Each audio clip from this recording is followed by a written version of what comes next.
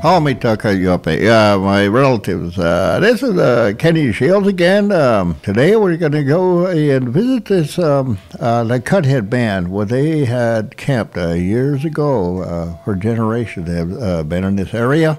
As we can see, these rings on the ground here. There were hundreds of them, and each summer they would come and camp here as we can see, if you look to the, you know, the, the, south of here is the Missouri River, and they camped on this promontory so that they would, uh, for the prevention of mosquitoes, and it was cool during the day, and there's also water that they, they have access to. In this area where Cuthead um, camped, uh, that they'd come here every season, every year. they camped the same place, and each uh, teepee ring had its own uh, place where relatives uh, recognized that they camped the same area.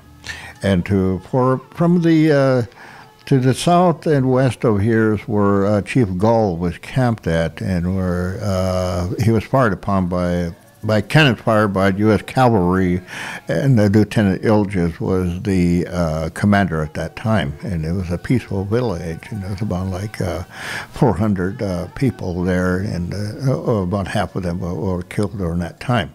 That was Chief Gall's camp. So this area here is owned by the Bighorn family too, Ernie Bighorn and, uh, and Jimmy and they, they too want to preserve this uh, place uh, for uh, future generations. And it'd be a, a, great idea if this could be uh, a study on it for cultural awareness and also for uh, protection. That uh, these sites need to be recognized as a federal or, or Indian place where we have ancestors that have always camped here. This needs to be preserved. This is vital and it's very important, and that we teach these things in our schools and our education systems, and that well, as these places are protected here, we need to have visitors come and recognize so that they can recognize that these areas are sacred and that they cannot be desecrated.